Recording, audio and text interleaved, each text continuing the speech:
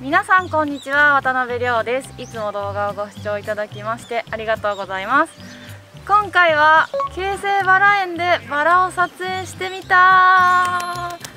今回は京成バラ園さんにご協力いただいてバラのお花の撮り方を紹介させていただきたいと思います。で見ての通りもうすごいんですけどほらちょっと周り映してもらいます。満開です。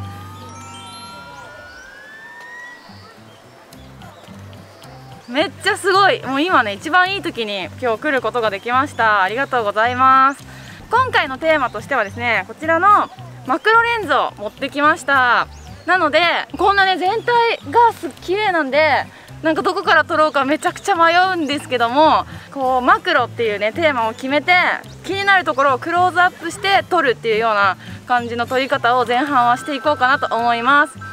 めっちゃ迷うけどね本当何撮ろうかなって感じなんですけど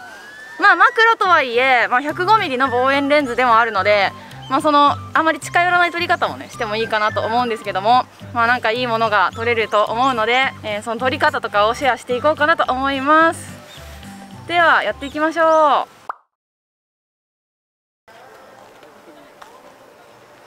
ちなみに今日の天気は曇りで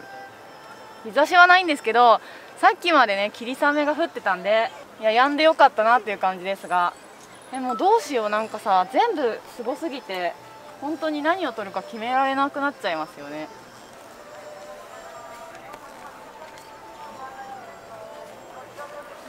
どうしよう、まあ、とりあえずこのピンクを取りますか。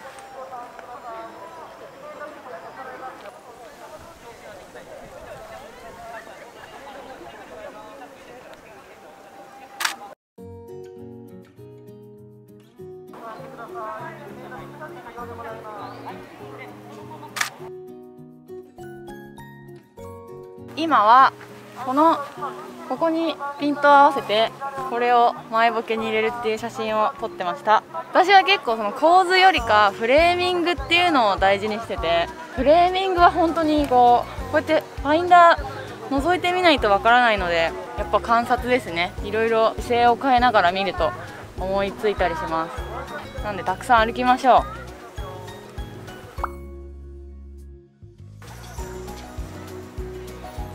う。もう本当に綺麗。どこもかしこも本当に綺麗。すごく迷う。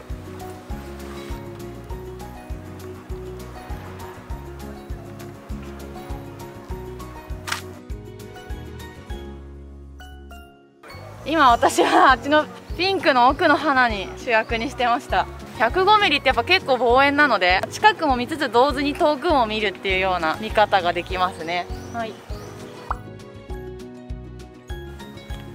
どうしようかな。どっち取ろうか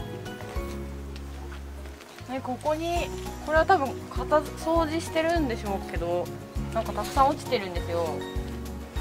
ね花びら。これもちょっと綺麗だなって思っちゃいます。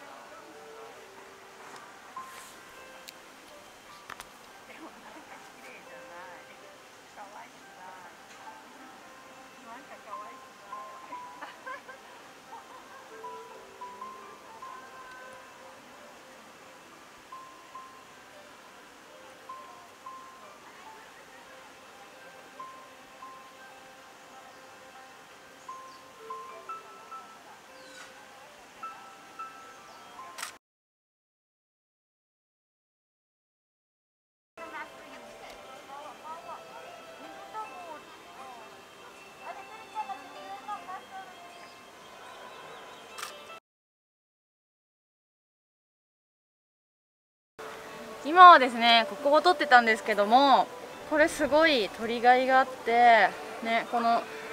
まずこれがすごい奥行きがあって咲いてる花なのでで全部コンディションが結構いいのでどこにピントを合わせるかどこをフレーミングするかで結構全然印象が変わります。なのであくまでもメインの被写体はこれを撮ってるんですけどこれがどういう場所に生えててどういうあの奥行きだったり前後関係だったりするかみたいなところもすごく意識しながら撮っています。ピンクと緑はすごいこ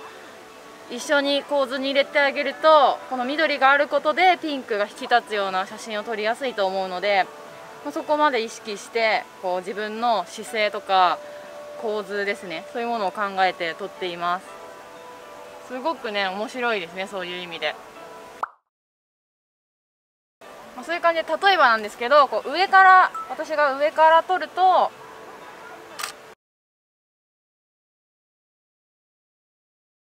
こういう感じで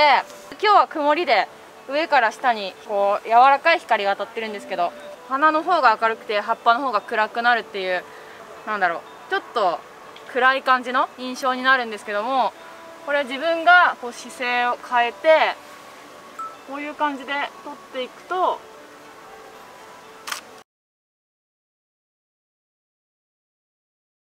こんな感じになってこれ今同じこのお花を撮ったんですけどだいぶ印象が違うのがわかるかなと思います。自分がしゃがんで見上げるような感じで撮ると背景が木漏れ日になるのであのふわっとねふわっと優しい感じの印象になります。バラ園の裏側まで歩いてきたんですけどもこっち側に来るとあの少しこうお花がギューって咲いている感じよりかはグリーンと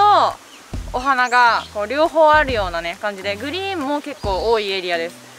なのでこういう場所の方がの丸ボケの構図が取りやすいかなと思うので少し丸ボケを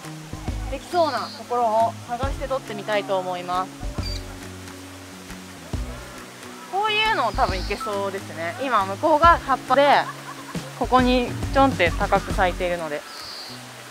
でただこの丸ボケにする時にああそこを見てほしいんですけどあっちのもみじの方って結構ぎゅうぎゅうであんまり明るくないじゃないですか。多分こんなに暗いとあんまり丸ボケの丸が見えないと思うんですよ、まあ、ちょっとどうなるか分かんないんで一応やってみますね。多分ね暗ちょっと暗くなっちゃうかなと思うんですね。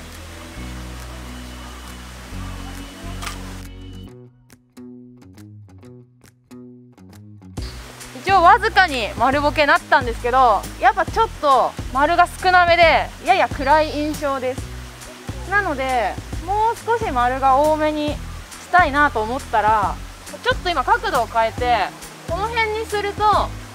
今度向こうの葉っぱあっち側にある細い木あるじゃないですか。あのあれね？なんか赤い実があるやつ。あっちにするとさっきのもみじはちょっと暗いんですけどあっちだと葉っぱが少し少ないんでこう空が見える感じするの分かります？動画で。分かるかな、うん、だから多分あっちを背景にしてここれを撮ってあげるともっと丸が丸ボケの丸が見えて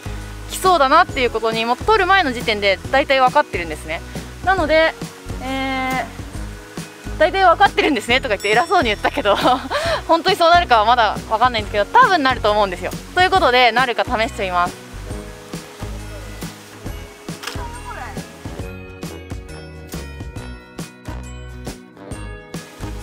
できた。できました。無事にできました。よかった。うん。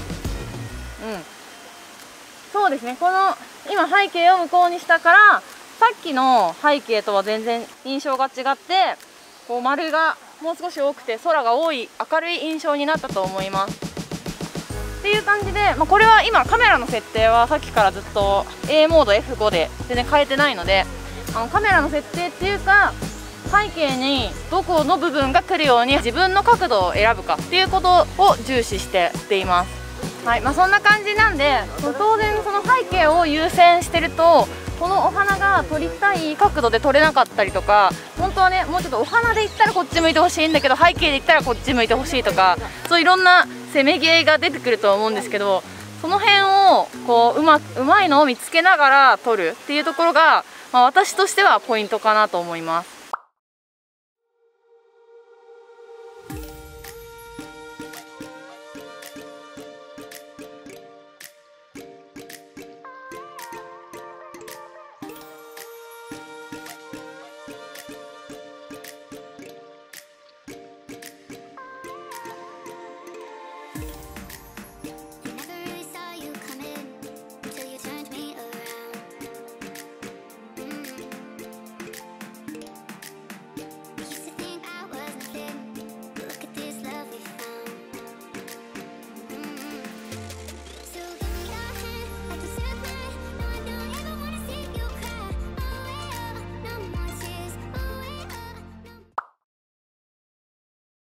はいということで今回は京成バラ園さんでバラの撮り方マクロレンズ編ということで紹介してみました。ここに来たのは初めてじゃなくて、まあ、何回か来たことあるんですけど、まあ、こんなに満開ですごいコンディションがいい時に来たのは初めてだったと思うんですけどやっぱ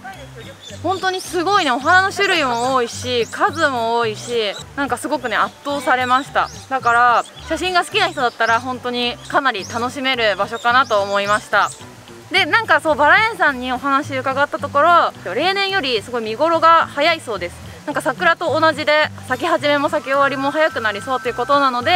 もし機会があればバラのお花ぜひ皆さん取りに来てみてください。ちなみに土日と平日だと全然やっぱり混雑具合が違うみたいなのでもし平日に来れるっていう方は平日の方があの撮影もしやすいのかなと思います。京成バラ園さんではあの三脚の使用についてはあのルールがあって禁止の時間帯とかがあるみたいなのでルールの細かいことはホームページに書いてありますので三脚使いたい人はそちら確認してから必ず来てください。まあいつも私の動画をいつも見てくださってる方には同じことになっちゃうんですけどとにかく観察することですね。観察っていうのはいろんな意味で必要になるんですけども例えばお花自体のコンディションをよく見てあげてもう綺麗に咲いているのかちょっと傷めかけているのかっていうところを意識してみるとかあとはお花同士がたくさんあるところではどこのお花に主役にしてあげるのかあと写真の構図の中にどこまで入れてあげるのかっていうところを意識してみる。あとは、えっと、背景がグリーンになるようなところだとお花の色が引き立ちやすいので角度を選んであげてお花をどういう風に見せたら一番綺麗に見えるかっていうのを意識したりするとちょっと写真が変わってくるかもしれないので参考にしてみてもらえたらなと思います。はいということで今回も最後までご視聴いただきましてありがとうございました。この動画が少しでも面白かったとか役に立ったと思っていただいた方は高評価ボタンやチャンネル登録で応援のほどよろしくお願いします。それではまた次回の動画でお会いしましょう。バイバーイカズさん初めてのセット50での撮影の感想はどうですか、まあ持った感じすごく軽くてあの楽だなって思いました。やっぱり。こっちがスタンダードになりそうですかね。軽いのが一番あのラ撮ってる方も楽なんでいいかなと思いました。うん。じゃあ引き続きよろしくお願いします。お願いします。カズさんが最近出てこないと心配してる人いるみたいですよ。う何してたんですか？別に何してるってわけじゃないけどごご着工を見てないといけないので私が。そういうことですね。はい。ありがとうございました